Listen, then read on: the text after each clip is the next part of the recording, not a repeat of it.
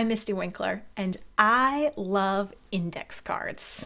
Not only do they make great to do lists, but we can also use them to keep track of those less frequent to do items.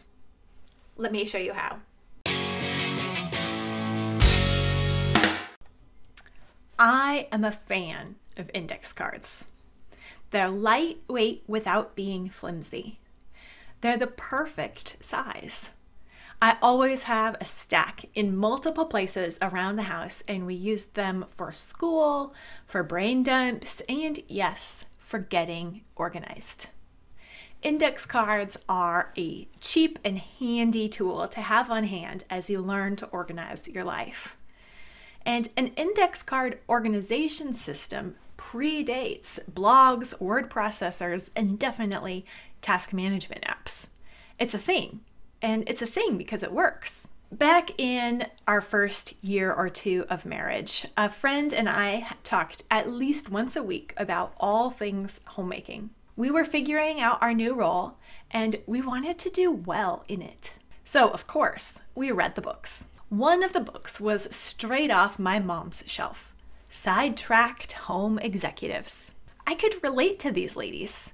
They had ideas, they had things that they wanted to do, and both the housework and the state of the house, because the work wasn't being done, were getting in their way. They came up with a creative solution to break up the housework into manageable chunks and make sure that they did it regularly without expecting themselves to recognize that the work actually needed to be done and without needing to decide each day what to do. Yes, that's right, they came up with a housework routine. Now, that alone is not creative or unusual although there are points at which it seems like it might be revolutionary. When you suffer from decision fatigue and a tendency towards procrastination or perfectionism, a routine can be revolutionary.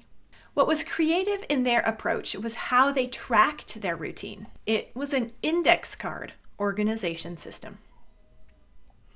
Before personal computers, before iPads or even PDAs, there were index cards, and these sisters put them to good use. If you homeschool, you've probably come across memory work organization systems that rely on index cards. You write your verses or your dates or your definitions on index cards and then sort them into a box based on how often you need to review them daily, weekly, monthly. Pam Young and Peggy Jones, the authors of Sidetracked Home Executives, were organizing their chores with index cards before homeschoolers were doing it with their memory work. Is an index card organization system out of date or is it still useful? Could this book, so clearly from the 80s, still be applicable? If you want to accomplish your housework regularly, without having the excuse to check your phone or open your computer, then an index card organization system might just be for you. However, whether you use index cards, an app, or any other implementation, you certainly can and should use the principle behind this method, which is actually loop scheduling. The index card organization system is at heart a loop schedule for housework just like Sarah Mackenzie popularized in her house cleaning system. Only Sarah used a plain list on plain paper. The principle remains the same. Index cards can be kind of fiddly. They can be easily mixed up, lost, or ruined. However, there are also advantages to running a loop schedule on index cards. You can decorate the cards. You can take notes on the cards. You can easily reassign the cards and you can easily delegate the cards. The index cards are not really the point, though, or what makes the system work. What makes an organization card system work is that it relies on three strategies it eliminates decision fatigue, it holds the information that you need and makes it easy to find and grab, and it keeps track of what's next for you. You can accomplish the same outcome with an app like Home Routines or Todoist. And you can get some of the same benefits by keeping the same information in a checklist. You can even add your recurring chores to a weekly dashboard planner page. But what won't give you the same peace of mind and effectiveness is simply printing off someone else's master cleaning list.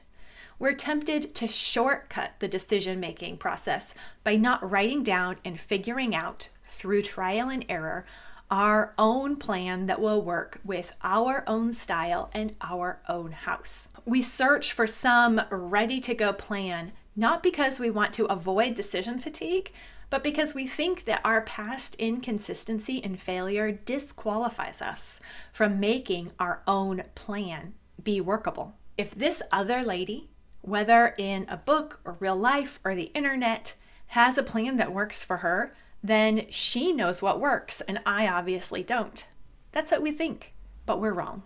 If it works for her and I adopt her plan, now she's responsible and not me. I can just adopt her plan and get her results, right? I haven't removed decision fatigue at that point. I've removed personal responsibility. Unfortunately, too often we do not want to go through the process of actually getting organized changing our mindset and our methods. We just want a quick fix solution. Most likely, someone else's plan will not work for you in a cut and paste sort of way. It might be a great shortcut for developing your own workable system, even one with index cards. But you will have to mix with brains and practice before it actually works for you. If you're ready to make a housekeeping routine a housekeeping loop schedule, or even an index card organization system that works for you, then come on over to simplyconvivial.com and start with the short, handy guide to go through the process of discovering the minimum viable routine that you need to keep your house out of chaos and out of survival mode. I have a free how to create a personalized housekeeping routine guide that will take you through the process of figuring out what you need to work in your situation with your style and your needs. And you can find that at simplyconvivial.com. At Simply Convivial, we do not believe in one size fits all solutions, plans, or checklists. I'm all about teaching you the principles and the skills that you need to figure out what's going to work for you in your particular situation with your particular needs. If that's what you need, then make sure to subscribe and check out some of my other videos, including my series on getting your life organized in one week. Check those out here. But always remember that your attitude is the most important part of your organization project. So, repent, rejoice, repeat. See you next time.